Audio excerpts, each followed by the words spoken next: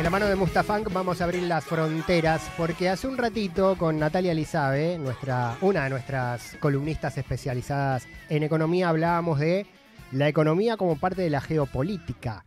Depende lo que pasa en el mundo, depende cómo son las relaciones de fuerzas entre las grandes potencias, China, Estados Unidos y su guerra comercial, Rusia y su conflicto en Ucrania, lo que pasa en Medio Oriente con los bombardeos de Israel a Palestina y demás. También eh, se balancean las equidistancias entre los grandes capitales mundiales y su injerencia en los países. Está el Fondo Monetario Internacional y los organismos crediticios en el medio, pero todo eso tiene que ver con la relación entre las grandes potencias y el geopolítico tablero del mundo. Ignacio Utín es periodista, es periodista especializado en temas internacionales y además tiene el plus de ser un viajero, de haber visitado todos los lugares en los cuales suceden las cosas que son tapa en el mundo en cuanto a la información, en lo que tiene que ver con Europa Oriental especialmente, pero en un montón de lugares. Ahora lo tenemos en Escocia, nada más y nada menos. Vamos a hablar de lo que está pasando en Rusia con lo que fue el atentado al teatro donde tocaba la banda, eh, aquella banda eh, rusa de rock pop muy famosa también y ligada de alguna manera, ahora Ignacio nos va a explicar un poco mejor, con, no digo propaganda pro Putin, pero sí una, militancia eh, pro rusa muy, muy clara. Y ese atentado que todavía no se sabe de dónde vino, aunque se lo adjudicó ISIS, y cómo impacta todo esto justamente en el tablero geopolítico. Ignacio, Pablo de este lado, estamos con Inés también en la Patria de las Moscas por la cadena de comunicación y cultura en la provincia de Buenos Aires. ¿Cómo estás? ¿Qué tal? ¿Cómo les va? ¿Me escuchan bien? Te escuchamos perfectamente y para quienes están siguiendo la transmisión en el canal de YouTube también te estamos viendo perfectamente. ¿En qué lugar de Escocia? A ver, hagamos geopolítica de la ubicación o GPS de la ubicación en realidad. Estoy en Glasgow, la ciudad más grande de Escocia, no la capital de Escocia, pero sí la ciudad más grande y una de las ciudades más grandes del Reino Unido. Lugar raro para estar el 2 de abril, pero bueno, los escoceses tienen una relación medio rara con, con Londres. Bien, eso te iba... A veces se sienten británicos, a veces no. Claro, eso te iba a preguntar, ¿no? ¿Cómo se siente el tema Malvinas eh, allá? Y especialmente en Escocia, como decís, tanto Escocia como Irlanda y también Gales, tienen sobre la metrópoli, sobre Londres, eh, una mirada de rivalidad, ¿no? Y nos quieren mucho a los argentinos por eso también. Sí, sí, es cierto, pero también depende del lado de la ciudad en la que te encuentres. Eh, si estás más cerca del estadio de Rangers, eh, son mucho más pro-británicos y están más cerca del estadio de Celtic, el otro equipo son mucho más eh, pro-independencia. Bien, claramente somos del Celtic de Glasgow, aunque haya perdido la final del 66 con Racing en Montevideo de la Copa eh, Mundial de Clubes, somos del Celtic por esa cuestión geopolítica. nos centramos en Rusia y en el atentado. Iki, ¿cómo está la cuestión después de transcurridos unos días de terror, no en Moscú? Sí, es muy interesante lo que pasó, porque, porque al día de hoy no sabemos quién fue el que cometió este ataque. Obviamente tenemos todas las versiones, tenemos la versión de, países como Estados Unidos, como el Reino Unido, Alemania, Francia, eh, tenemos la versión de Rusia, tenemos la versión de Ucrania. Eh, ¿Qué dice cada uno? Eh, desde, llamémosle Occidente, Estados Unidos y amigos, dicen que se trató de un ataque cometido por eh, una rama del Estado Islámico que es ISIS-K, ISIS Jorazán. Jorazán es una región histórica de Afganistán y otros países. Digamos, es el ala del Estado Islámico en Afganistán. Eh, según Estados Unidos, fueron ellos los que lo organizaron y lo perpetraron. De hecho, el Estado Islámico emitió una serie de comunicados y también una serie de videos autoatribuyéndose el atentado, diciendo fuimos nosotros. Y desde Rusia dijeron no, no fue, no mm. fue el Estado Islámico. De ninguna forma. ¿por, qué, Lo que dice... ¿Por qué ISIS atacaría a Putin si uno piensa que ISIS hoy es rival de Estados Unidos y los amigos de mis amigos son mis enemigos? Bueno, no es tan así. De hecho, el, Estado Islámico y Rusia han tenido unos cuantos choques en, desde 2011 para acá. Mm. A ver, el Estado Islámico surge fuerte en 2011 en el marco de, un poquito más tarde, la, guerra en Siria empieza en 2011. En el marco de la guerra en Siria es que aparece el Estado Islámico, en el medio de todo ese caos entre el, gobierno sirio de Bashar al-Assad y los, los rebeldes apoyados por Estados Unidos, entre otros, aparece esta agrupación y empieza a tomar cada vez más territorio. Como Rusia apoyaba mucho al gobierno sirio, a Bashar al-Assad, terminan teniendo un enemigo en común con los rebeldes y con los kurdos y con otros grupos, todos estaban enfrentados al, Estado Islámico. Pero al final el que termina ganando es el gobierno sirio gracias a Rusia. Entonces, el Estado Islámico lo tiene por enemigo a Rusia, no hay ninguna duda pero además no es solo que se enfrentaron en el marco de la guerra civil en Siria. Se enfrentaron también en Afganistán, por ejemplo, fuerzas rusas contra fuerzas del Estado Islámico. Se enfrentaron en unos cuantos países de África, sobre todo en los países donde estaba operando la, agrupación paramilitar Wagner, que, que se hizo tan conocida el año pasado cuando su líder intentó, se supone, intentó un golpe de Estado contra Moscú. Eh, tuvieron choques en Mali, tuvieron choques en la República Centroafricana, tuvieron choques en Chad, tuvieron choques en, Níger. Eh, y según el Estado Islámico, según este comunicado que Rusia niega, eh, Rusia es un enemigo del Islam, entonces debe ser castigado y por eso se supone que el Estado Islámico cometió estos ataques, según Estados Unidos y otros. Claro, claro. Bueno, unas relaciones bastante tortuosas y complejas de entender porque eh, como te decía Ignacio, desde la mirada superficial uno piensa a Medio Oriente aliado a Rusia y no enemigo, pero bueno, eh, también es cierto que ISIS, algunos dicen fue creado por Estados Unidos en Afganistán para pelear contra la Unión Soviética hace muchos años, ¿no? Bueno, no, lo que, lo que bancó Estados Unidos en su momento fue a los mujahidines, que después terminaron siendo, eh, de una forma u otra, terminó siendo el talibán. Claro, en Afganistán. En Afganistán, claro. Eh, después, las otras posibilidades. Ah, además, dicho sea de paso, Estados Unidos había advertido, esto está, está registrado, consta, no es, no es ningún secreto, había advertido a principios de marzo al gobierno de Rusia que podía llegar a haber un ataque en Moscú. Incluso, incluso, esto lo pueden buscar, está en Twitter, por ejemplo. Eh, incluso podía haber un ataque en un concierto. Esto lo dijo Estados Unidos a principios de marzo.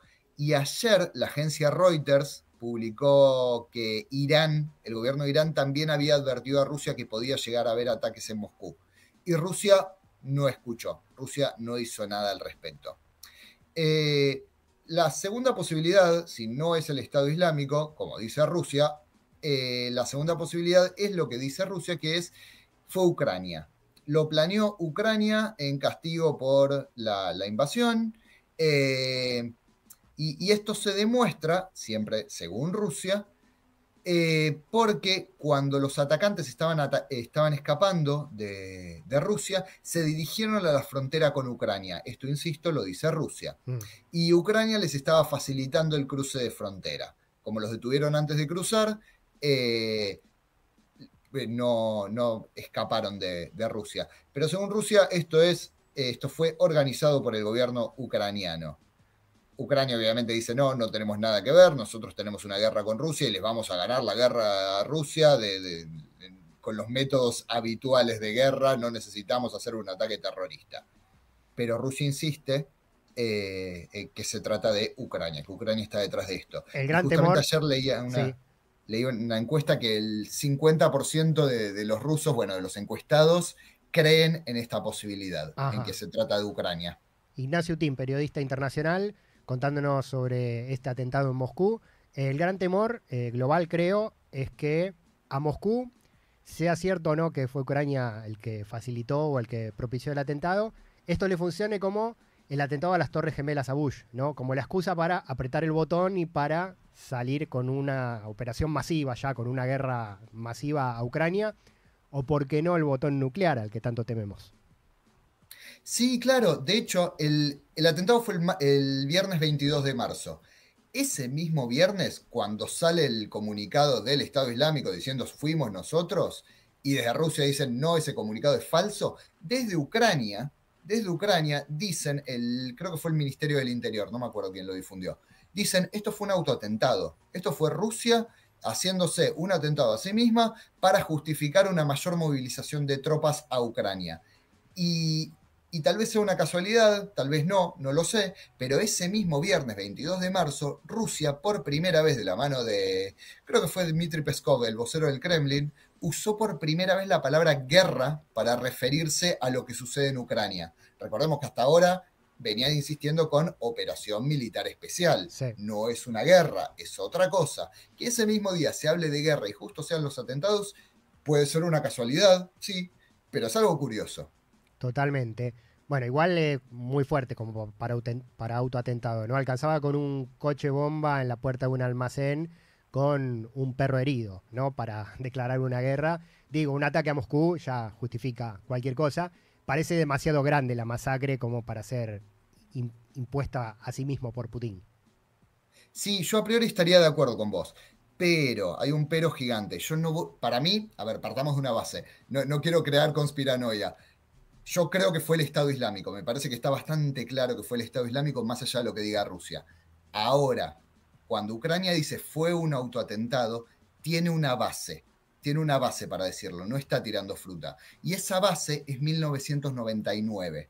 En 1999 Putin era primer ministro de Rusia, se venían las elecciones presidenciales que él iba a reemplazar, él quería reemplazar a, Yeltsin, a, Boris Yeltsin, que era hasta entonces presidente, y a Putin no lo conocía nadie, no tenía ningún apoyo, era un tipo muy seco, era un tipo muy aburrido, no era un tipo popular, no, no despertaba ningún encanto. Todavía no montaba osos en el hielo. Todavía no montaba osos, exactamente. Y justo en ese momento se da una serie de atentados, de cuatro atentados en edificios residenciales en Moscú y otras ciudades, y se supone que las fuerzas de seguridad del Servicio de Seguridad Ruso, el FSB, eh, descubrió otro atentado que iba a cometerse antes de que sucediera. Murieron unas 300 personas en esos atentados. Rusia eventualmente eh, culpó a terroristas chechenos, se condenó a, unos ciudadanos chechenos, y con eso, con esa idea, Putin ataca Chechenia, se da la Segunda Guerra de Chechenia en 1999, que es una guerra muy cortita, entra con todo, Putin se hace extremadamente popular con esta idea de terminar con los terroristas, de vamos a vencerlos a todos, destrozan completamente Chechenia, matan a muchísima gente, se cometen una cantidad delirante de crímenes de guerra y la popularidad de Putin estalla. Después gana las elecciones y ya nunca deja el poder. Esto fue en, entre 1999 y 2000. ¿Por qué digo que es un antecedente importante a tener en cuenta? Porque está bastante probado, por no decir completamente comprobado, que esos atentados fueron cometidos por el FSB, por las fuerzas de seguridad rusas. Mm. Hay muchísimas pruebas de eso. De hecho, una, persona que, investigó mucho este tema y que acusó directamente al Kremlin fue Boris Nemtsov, un periodista que al poco tiempo fue asesinado a 200 metros del Kremlin, en un puente que está a, dos pasos de, la famosa catedral de San Basilio. Caramba. Justo lo mataron ahí y a dos pasos del Kremlin, uno de los lugares más vigilados del planeta, y nadie vio nada. No hay mm. ningún video, no hay nada. Él trabajó mucho sobre ese tema. Yo creo que, no voy a decir 100%, pero me parece que hay muy buenas chances de que 1999 haya sido un autoatentado. Y considerando todo esto que venimos hablando hasta ahora, que Rusia necesita movilizar más gente, que lleva dos años de guerra, que, que no está logrando tantos avances y que justo por primera vez se da que usan la palabra guerra, entiendo por qué Ucrania dice, y para mí fue un autoatentado.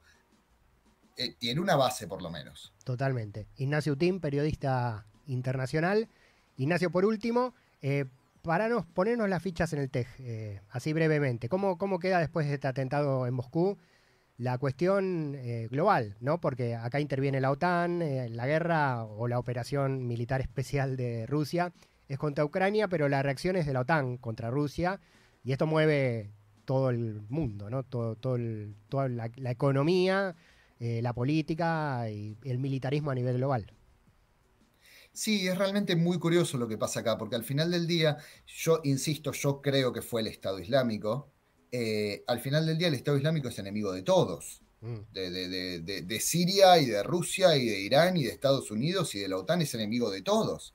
Eh, entonces, más allá de que hoy por hoy Rusia y la OTAN son enemigos, son claramente enemigos, si bien no se están enfrentando en forma directa, tienen también un enemigo en común y, van a tener que enfrentarse tarde o temprano si es que resurge esto. Eh, Emmanuel Macron, el presidente de Francia, salió a hablar al otro día del atentado y, dijo, estamos en la misma línea que Rusia. Nosotros también podemos sufrir los mismos ataques. Y de hecho, Francia ha sufrido ataques del Estado Islámico. Eh, y no solo del Estado Islámico, también de otras organizaciones extremistas eh, islámicas. Recordemos el caso de Charlie Hebdo. Y recordemos también que este año Francia, París, organiza los Juegos Olímpicos, uno de los eventos más grandes, más importantes del planeta. Eh, entonces, al menos en este caso, Francia y Rusia deberían estar juntos, están en la misma línea. ¿Cómo van a convivir la OTAN, los miembros de la OTAN y Rusia teniendo un enemigo en común, pero en el marco de la guerra en Ucrania? Es un gran misterio. Yo creo que es, e, es muy difícil que en este momento un líder de la OTAN se reúna con Putin para, para plantear una estrategia en común. Eh, pero no lo sé, no lo sé. Ayer se anunció que la, nueva secretaria general de la OTAN va a ser Kaya Kalas, que es la hoy primera ministra de Estonia. Y, es, una, es una mina que está muy en contra de Rusia, en un país que está muy en contra de Rusia.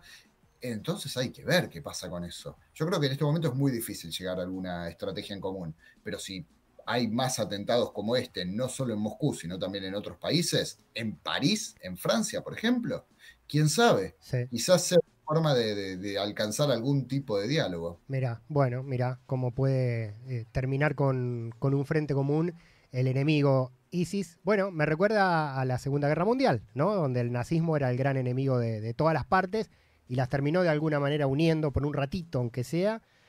Lo que pasó en la posguerra después con la división del mundo entre este y oeste fue más trágico todavía, ¿no? Pero bueno, esa es otra historia. Ignacio Utín desde Escocia analista, periodista internacional. Muchas gracias, impecable el recorrido para comprender algo que está muy lejos acá en los medios nacionales, Ignacio, de esta profundidad que le diste vos a, la explicación, ¿no? Nos muestra en el título la simplificación y el malo es Rusia y el bueno es Estados Unidos y no queda ningún otro tipo de, análisis posible en la gente que, que recibe esas informaciones. Así que impecable el contacto, muy productivo. Eh, te vamos a volver a molestar. ¿Vos te quedas en Escocia o vas a viajar por otros lados? Estoy en Escocia hasta junio. Después me voy a Georgia, al Cáucaso, donde voy a estar al menos un año. Bueno, que haya paz ahí, ¿eh? ese lugar también muy complejo. No sabemos. Eh, por ahora está más o menos estable la cosa, por ahora. bueno, Ignacio Tim, muchas gracias por este rato. Un placer, un abrazo. Ignacio Tim pasando por la patria de las moscas. Es eh, vecino de siempre del oeste, Ignacio, y viaja por el mundo. Él estuvo, estuvo en Ucrania, estuvo en Chernobyl en la central nuclear, estuvo en, Rusia, estuvo en, todo, en toda Europa del este, caminando y haciendo el trabajo periodístico en el campo, ¿no? en el campo de batalla, podemos decirlo así literalmente. Bueno, gran recorrida para entender lo que significó ese atentado que vimos en la tapa de todos los medios en el teatro de Moscú cuando tocaba esa banda de rock soviético que de alguna manera fue el objeto o el blanco de este atentado, autoatentado, divisora de aguas entre Occidente y Oriente en Europa, la guerra global desatada.